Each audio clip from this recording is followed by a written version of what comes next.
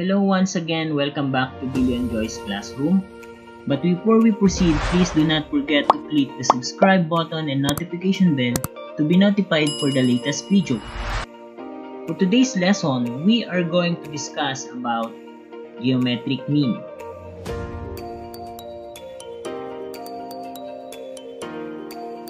Basically, we define geometric mean as a terms between any two given terms of a given geometric sequence. The first and the last term of a geometric sequence are called the extreme. For example, let's say we have 2, 6, 18, 54, and 162. So geometric means on this given example are 6, 18, and 54. So therefore, the extremes are 2 and 162. To solve for the geometric means, first, we need to find the common ratio. In our previous lesson, as we discussed in our geometric sequence, we find the common ratio by dividing a sub 2 divided by a sub 1, a sub 3 divided by a sub 2, a sub 4 divided by a sub 3 and so on or simply dividing the succeeding term divided by the preceding term. What if the given are non-consecutive terms? How do we able to find the common ratio? So in this case, we are going to use a formula that is the ratio formula. So ratio form formula is like this r is equal to n minus k which is our index then radical sign a sub n all over a sub k wherein r is our common ratio. N our number of terms. K is the position of a sub k. A sub n is our last term and a sub k is our first term. Now let's try. For example, insert three geometric means between 3 and 768. If we're going to insert three geometric means between 3 and 768, our ge geometric sequence look like this. 3, the inserted 3 geometric mean, and then 768. So in our sequence, we have the given a sub n is equal to 768. A sub k is equal to 3. k is equal to 1. N is equal to 5.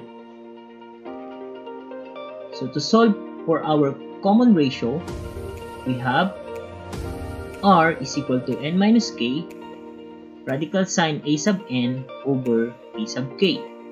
Substituting the value, we have 5 minus 1 and the radical sign 768 all over 3. So first we are going to subtract 5 minus 1.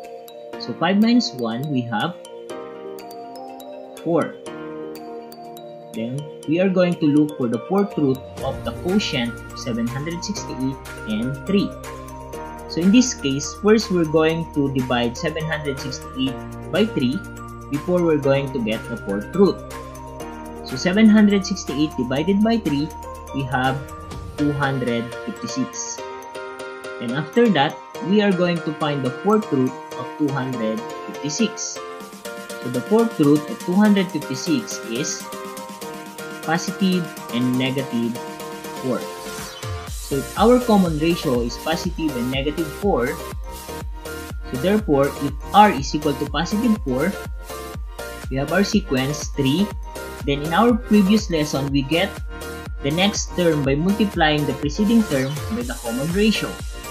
So multiplying 3 times 4, we get 12. 12 times 4, we have 48. 48 times 4, we have 192. Then 192 times 4, we have 768. If r is equal to negative 4, our common ratio is negative 4 multiplying by the preceding term, we have 3 times negative 4, negative 12. Negative 12 times negative 4, we have 48. Then 48 times negative 4, that is negative 162. 162 times negative 4, 768. So in our example, our geometric mean are 12, 48, 192. Then if r is negative 4, we have negative 12, 48, and 192. Let's try another one. Insert two geometric mean between 18 and 2 third. 18, then the insert two geometric mean in the last term 2 third. So we have given a sub n is our last term, so that is 2 third. A sub k is equal to 18, k is equal to 1, n is equal to 4. So first, let us find the common ratio we have the formula for the common ratio that is r is equal to n minus k and radical sign a sub n over a sub k. Let us substitute the value. So we have r is equal to 4 minus 1 which is our index and radical sign 2 third over 18. First, we're going to subtract 4 minus 1. So 4 minus 1 that is 3. So this time we're going to find the cube root of 2 thirds over 18. But then before we get the cube root, first we're going to divide 2 thirds by 18. So in dividing 2 thirds by 18, we have 2 thirds divided by 18 over 1. In dividing fraction, we are going to get the reciprocal, the divisor, and then multiply the fraction. So it looks like this. 2 thirds times 1 over 18. Then after that, we are going to multiply now the numerator and denominator. So we have 2 times 1, we have 2, then 3 times 18, that is 54. So therefore, we have 2 over 54. If we are going to look at our product, we can still reduce to its lowest term by dividing both numerator and denominator by 2. So we have 2 divided by 2, that is 1, and 54 divided by 2, that is 27.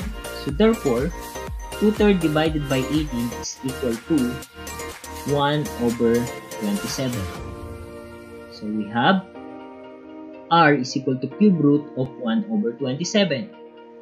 Then we're going to get the cube root so the cube root of 1 over 27 is 1 third. So therefore, our common ratio is 1 third.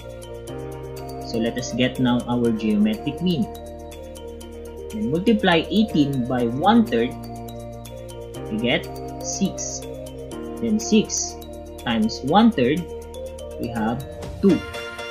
2 times 1 third, we have 2 third. Okay? Let's try, okay, let's try another one. For example, insert geometric mean between 2 and 18. So if you notice, in our next example, we don't have, or it was not specified on how many geometric mean we're going to insert. So therefore, we're just going to insert one geometric mean. So we have mean proportional. So mean proportional if only one missing term between two terms. So we have the formula that is geometric mean is equal to the square root of a times b. Our given sequence 2 and then the missing mean n 18.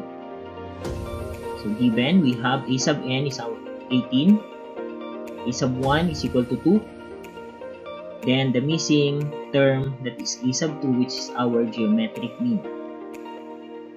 So, geometric mean is equal to the square root of a sub n times a sub 1. Substituting the value, we have a sub 2 is equal to the square root of 18 times 2. So 18 times 2, we have 36. Then, get the square root of 36, so therefore our geometric mean is positive and negative 6. Okay? So we have now our sequence 2, 6, 18, and 2, negative 6, and 18. So now let us try this one. Insert geometric mean between 4 and 100. So this is an example of mean proportional. Okay? So if your answer is 20, you are correct. How about this? Insert geometric means between 3 and 243 or insert 3 geometric means between 3 and 243. Select R. The numbers between 3 and 243. So if your answer is 9, 27, 81, you're right. Let's try another one. Insert geometric mean in the geometric sequence 2, 8, and then the missing term 128. So what do you think is that missing term? So this is an example of a mean proportional. Okay? So what do you think? Your answer is 32, you're right. How about this? Insert geometric mean between 12 and 300. Another example of mean proportion.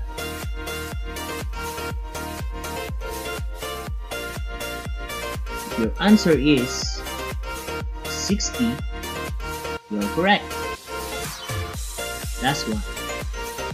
Insert geometric mean between 900 and 225.